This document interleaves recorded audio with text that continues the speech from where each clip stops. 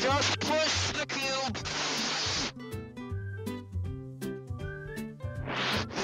Subscribe or die. Smash like button.